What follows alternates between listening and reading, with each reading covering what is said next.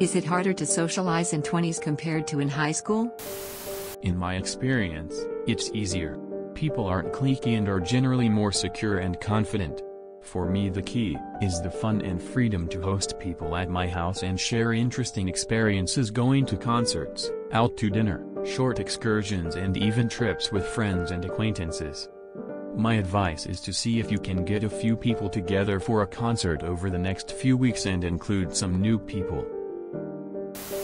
Co-workers usually, then you spend all day talking about either how interesting your work is or how awful your boss is.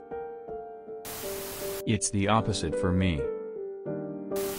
It's only harder because I'm not forced to meet as many people in my 20s and I'm an introvert so I don't want to force myself to meet new people. But when I do meet people, it's a lot easier to socialize because people tend to be more mature, open-minded, and have interesting experiences or passions that they like to share. Socializing in high school wasn't hard but it was very limiting in terms of topics and types of stuff you could do. I've drifted apart from my old high school friends since we all live in different places now and have realized we don't actually have much in common now that we're not forced to see each other every day. But if something new or exciting happens, sometimes they'll share it with the group and we'll chat again briefly.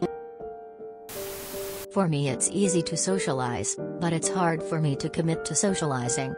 During my school days, you see the same group of people for at least 57 years, so you form friendships and everybody's free time are the same. It also helps that there are a lot of options to choose from.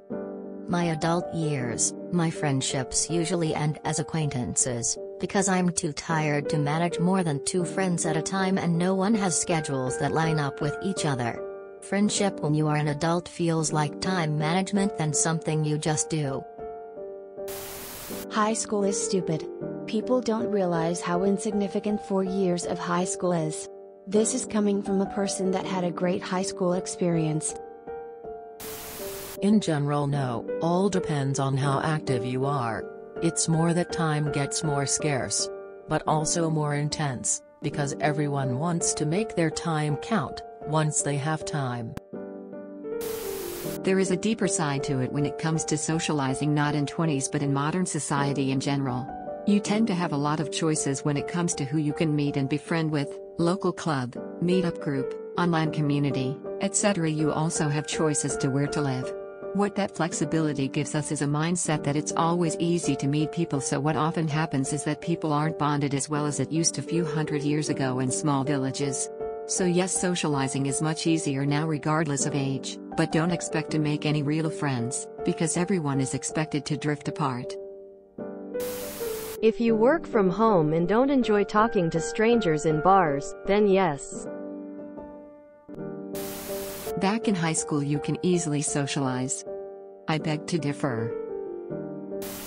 If you enjoyed this video, please check out our playlists full of similar content. Epicaricast is like doom scrolling for your ears. Please like, share, and subscribe.